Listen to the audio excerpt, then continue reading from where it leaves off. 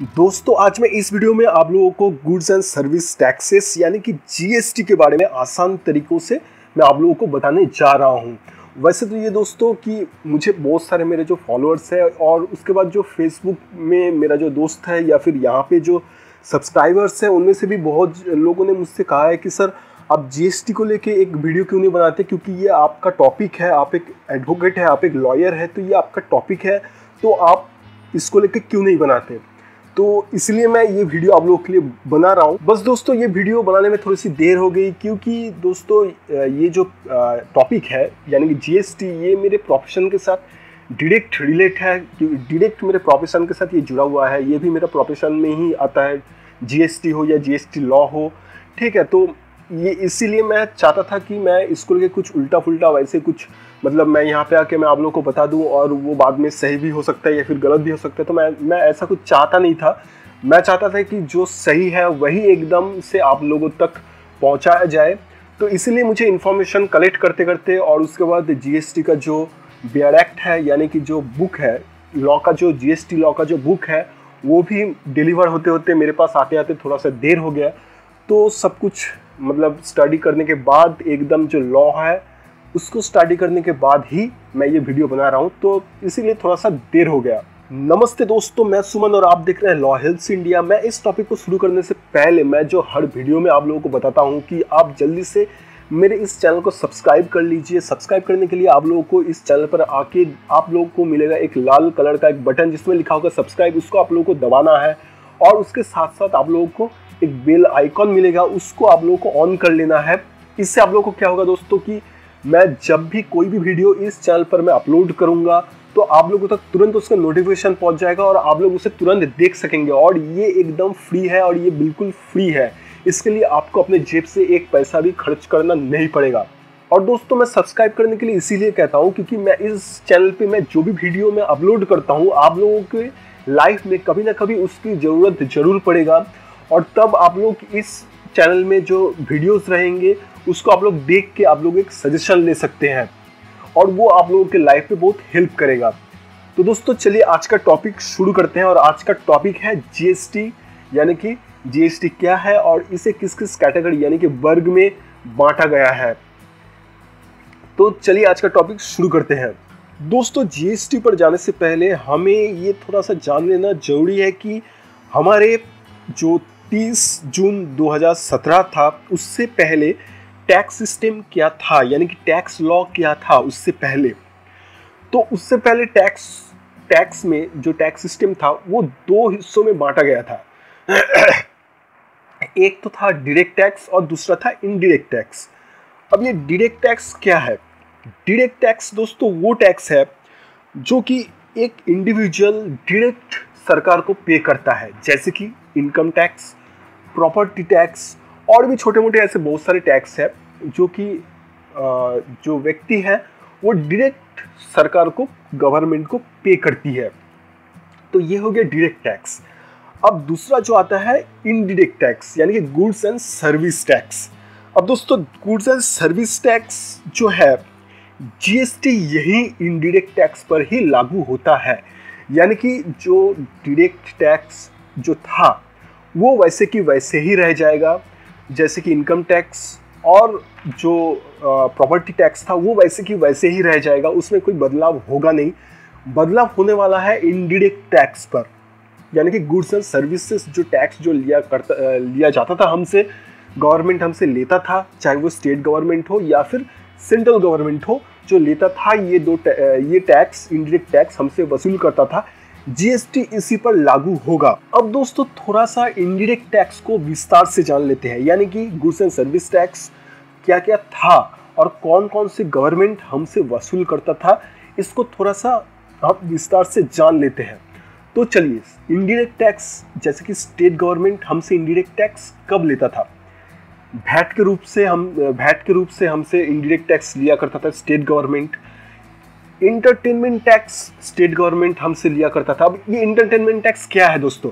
देखिए, हम जो मूवी देखने जाते हैं, हम जो थिएटर में, हम जो हॉल में सिनेमा हॉल में हम जो मूवी देखने जाते हैं, उसमें भैट के साथ साथ एक अलग से इंटरटेनमेंट टैक्स भी हमको पे करना पड़ता था। आप अगर जो मूवी थिएटर का जो टिकट है, उसको अगर आप, अगर सही से अगर आप थोड़ा सा, गौर गौर करेंगे उस पर तो वहाँ पे भैट के साथ साथ एक इंटरटेनमेंट टैक्स भी अलग से लिखा हुआ लिखा हुआ होता था, जो कि स्टेट गवर्नमेंट हमसे वसूल करता था।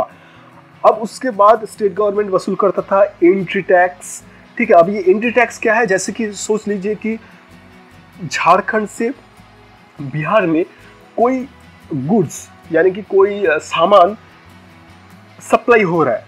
अब ये झारखंड से बिहार में जब सप्लाई होगा तो बिहार गवर्नमेंट झारखंड बिहार गवर्नमेंट उस व्यक्ति से कुछ टैक्स वसूलेगा, उसके स्टेट में एंट्री करने के लिए, उस सामान को लेके एंट्री करने के लिए बिहार गवर्नमेंट झारखंड से जो सामान आ रहा है उस पर थोड़ा सा टैक्स वो बिठाएगा और उस व्यक्ति से वसूल करेगा जो वो सामान लेके बिहार में घुस रहा है। अब ये तो बस एक एग्ज़ाम्पल था तो ये हर स्टेट में अलग अलग आप सोचिए कि हर स्टेट में अलग अलग उसको टैक्स पे करना पड़ता था एंट्री टैक्स यानी कि आप सोचिए, कोई व्यक्ति अगर दिल्ली से एक सामान लेके कोई गुड्स कोई सामान लेके अगर ट्रक से दिल्ली से कोलकाता में आना चाहता है और उसके रास्ते में दिल्ली के बाद अगर यूपी आता है तो उसको यूपी में घुसने के बाद उसको यूपी में एक एंट्री टैक्स उसको देना पड़ता था। और यूपी से अगर वो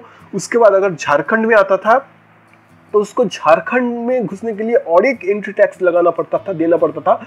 अब झारखंड से जब वो बंगाल में वेस्ट बंगाल में जब वो घुसता था तो उसके लिए उसको और एक अलग से टैक्स उसको पे करना पड़ता था। तो ये स्टेट गवर्नमेंट हर स्टेट गवर्नमेंट ये अलग अलग से वसूल करता था। अब उसके बाद और एक टैक्स जो स्टेट गवर्नमेंट वसूल करता था, वो है लग्जरी टैक्स अब ये लग्जरी टैक्स टैक्स क्या है दोस्तों? ये लग्जरी टैक्स वो टैक्स है जो कि जैसे कि हम आ, सोच लीजिए कि हम कोई होटल में जाके ठहरे हैं हम कहीं घूमने गए हैं और होटल में जाके ठहरे हैं तो उस होटल के लिए हम जो ठहरे हैं उसके लिए हमें एक लग्जरी टैक्स हमें पे करना पड़ता था स्टेट गवर्नमेंट को।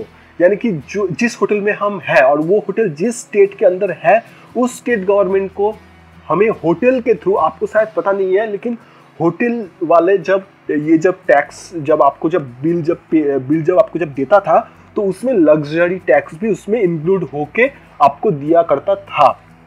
होटल वाले आपको दिया करता था। तो ये था लग्जरी टैक्स, और इसके साथ साथ लग्जरी टैक्स में और भी है, जैसे कि आप अगर कोई कार खरीदते थे कार अगर अगर कोई कार खरीदता है तो उस पर भी लग्जरी टैक्स इम्पोज होता है, यानी कि उस पर भी लग्जरी टैक्स आता है। तो ये स्टेट गवर्नमेंट वसूल करता था। अब आते हैं कि सेंट्रल गवर्नमेंट इनडायरेक्ट टैक्स क्या क्या वसूल करता था। अब देखिए, सेंट्रल गवर्नमेंट सबसे पहले जो इनडायरेक्ट टैक्स वसूल करता था वो है एक्साइज ड्यूटी ठीक है, अब ये एक्साइज ड्यूटी वसूल करता था सेंट्रल गवर्नमेंट। उसके बाद था सर्विस सर्विस टैक्स एक सर्विस टैक्स भी स्टेट गवर्नमेंट हमसे वसूल करता था। अब ये सर्विस टैक्स क्या होता था दोस्तों? जैसे कि आप सोच लीजिए कि आप कोई रेस्टोरेंट में आप खाने गए हैं तो वहाँ पे आप देख सकेंगे कि वहाँ पे अलग से एक सर्विस टैक्स आपसे लिया करता था। बिल के अंदर ही सर्विस टैक्स अलग से आपको मिल जाएगा कि इतना परसेंट सर्विस टैक्स आपको पे करना है बिल के साथ साथ तो वो सेंट्रल गवर्नमेंट हमसे वसूल करता था। ठीक है?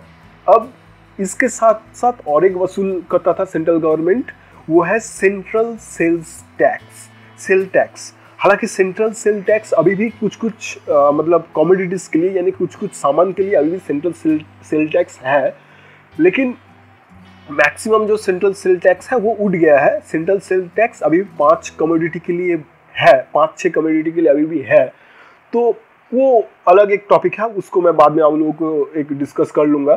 तो उसके बाद जो आता था सेंट्रल गवर्नमेंट हमसे जो वसूल करता था वो है कस्टम ड्यूटी कस्टम ड्यूटी दोस्तों वो है कि आप सोच लीजिए कि विदेश से आपके लिए कोई सामान आ रहा है, ठीक है, और आके आप एयरपोर्ट के थ्रू आ रहे हैं या फिर डेफिनेटली विदेश से कोई सामान आएगा तो आप एयरपोर्ट के थ्रू या फिर जहाज़ के थ्रू अगर जहाज़ के थ्रू अगर आता है तो बंदरगाह में आएगा, ठीक है। तो ये दो जगह पे कस्टम ड्यूटी वाले रहते थे। तो जो सामान आपने जो विदेश से जो मंगवाया है, उस सामान में 99 परसेंट सामान में आपको कस्टम ड्यूटी पे करना पड़ता था। यानी कि आप विदेश से जो सामान ला रहे हैं आपके लिए, अपने लिए, या फिर दूसरे किसी के लिए तो उस सामान पे आपको इंडिया में घुस उस, वो सामान लेके घुसने के लिए आपको एक कस्टम ड्यूटी पे करना पड़ता था सेंट्रल गवर्नमेंट को। तो देखिए, इतने सारे इतने सारे टैक्स इनडायरेक्ट टैक्स हमसे स्टेट गवर्नमेंट और सेंट्रल गवर्नमेंट हमसे वसूल करता था अभी तक। ठीक है? डायरेक्ट डायरेक्ट नहीं सॉरी इनडायरेक्ट रूप से हमसे वसूल करता था। अब देख लेते हैं कि जीएसटी क्या है और जीएसटी तो आप लोगों को पहले ही मैं बता दिया हूँ कि जीएसटी इनडायरेक्ट टैक्स है। अब ये जीएसटी आने के बाद एक्चुअली इतने सारे जो टैक्स हमसे स्टेट गवर्नमेंट और सेंट्रल गवर्नमेंट हमसे वसूल करता था उस पर क्या इम्पैक्ट इम्पैक्ट पड़ेगा और उसको, उसमें से कौन कौन सा रहेगा और कौन कौन सा हट जा रहा है? तो चलिए, देख लेते हैं। तो सबसे पहले इनडायरेक्ट टैक्स जीएसटी आने के बाद दो तरह के जीएसटी रहेगा दोस्तों।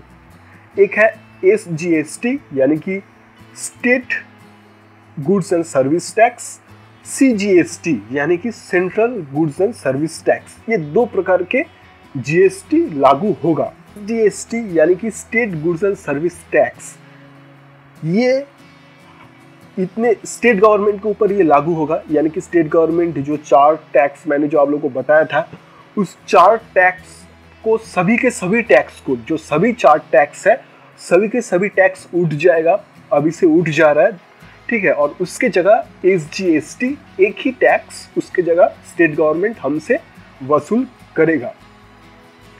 जो जो वैट था एंटरटेनमेंट टैक्स था एंट्री टैक्स था और लग्जरी टैक्स था, ये सभी उठ जाएगा। अब स्टेट गवर्नमेंट जो जो टैक्स हमसे वसूल करता था, ये सभी उठ जाएगा और उसके जगह S G S T central government एक ही टैक्स हमसे लेगा। और सेंट्रल गवर्नमेंट की बात करें तो सिर्फ़ कस्टम ड्यूटी को छोड़ के, आप याद रखिएगा दोस्तों, सिर्फ़ कस्टम ड्यूटी को छोड़ के बाकी के जो तीन जो टैक्स है, यानी कि एक्साइज ड्यूटी सर्विस टैक्स और central sales tax sale tax ये तीनों के तीनों उठ जा, उठ जाएगा। ठीक है, उठ जाके सी जी एस टी उस पर आएगा, यानी कि central goods and service tax उठ, आ जाएगा, ये तीनों के जगह। हालाँकि सेंट्रल सेल टैक्स अभी भी कुछ कुछ कमोडिटी में अभी भी है, लेकिन वो हर कम्युनिटी में नहीं है। वो अलग से उसके लिए एक पूरा का पूरा, एक अलग से उसके लिए एक पैनल है। तो वो जीएसटी के अंदर आता नहीं है। वो एक अलग से पैनल है। तो इसीलिए जीएस सेंट्रल सेल्स टैक्स अभी तक यहाँ पे जिस जिस जगह पे लागू होता था, ये भी उठ जाएगा सेंट्रल सेल्स टैक्स भी उठ जाएगा। ये तीनों उठ जाएगा, सिर्फ़ कस्टम ड्यूटी जैसे के, जैसे है अभी भी, वैसे ही रहेगा। बस ये तीनों उठ जाके सी जी एस टी आ जाएगा। यानी कि बस दो टैक्स ही, दो प्रकार के टैक्स ही अभी इंडिया में रहेगा। इनडायरेक्ट टैक्स इंडिया में रहेगा। दो प्रकार के इनडायरेक्ट टैक्स इंडिया में रहेगा। तो स्लैब के बारे में मैं बाद में और एक वीडियो में मैं पूरा का पूरा एकदम ऊपर से लेके टॉप से लेके बटम तक स्लैब्स क्या क्या है कौन कौन सा स्लैब्स में किन किन कैटेगरी किन किन फ़ूड आइटम्स या फिर किन किन आइटम्स को किस किस कैटेगरी में रखा गया है। पाँच परसेंट जी में कौन कौन सी कैटेगरी आता है, आते हैं या फिर उसके बाद बारह परसेंट में कौन कौन सा आता है या फिर उसके बाद अठारह परसेंट में कौन आता है, फिर अट्ठाईस परसेंट में कौन कौन आता है और ज़ीरो परसेंट में कौन कौन आता है, मैं सबके सब दूसरे वीडियो में एकदम पूरा का पूरा डिस्क्राइब कर दूँगा, पूरा का पूरा मैं बता दूँगा। तो दोस्तों, ये वीडियो अगर आप लोगों को पसंद आया हो तो इस वीडियो को लाइक और शेयर करना मत भूलिएगा और इस वीडियो के नीचे कमेंट बार पर जाके कमेंट करना भी मत भूलिएगा, क्योंकि दोस्तों आप लोग अगर कमेंट करेंगे तो मुझे क्या होगा कि मुझे पता चलेगा कि आप लोग मैं जो वीडियो बनाता हूँ तो आप लोग उसको पसंद कर रहे हैं या फिर नहीं पसंद कर रहे हैं। कोई भी हो, कुछ भी हो, आप लोग बस कमेंट कीजिए तो मुझे पता चलेगा। और इससे क्या होगा कि मुझे ये भी पता चलेगा कि मैं, आप लोगों के लिए मुझे कौन कौन सा वीडियो लाना है और आप लोगों के लिए कौन कौन सा वीडियो मुझे नहीं बनाना है। तो दोस्तों, मैं फिर से कहता हूँ कि आप लोग जल्दी से मेरे चैनल को सब्सक्राइब कर लीजिए। इस चैनल को सब्सक्राइब करने से आप लोगों को फ़ायदा एक ये होगा कि मैं जब भी कोई वीडियो मैं अपलोड करूँगा, आप लोगों तक तो तुरंत उसके नोटिफिकेशन पहुँच जाएगा और ये बिल्कुल फ्री है दोस्तों। तो जो फ्री है, उसके लिए सोचना क्या, बस सब्सक्राइब कर लीजिए।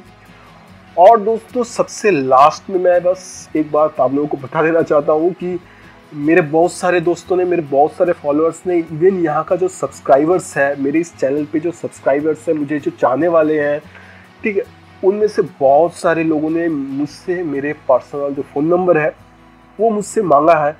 वो कभी कभार मांगते हैं, आप देख भी सकते हैं।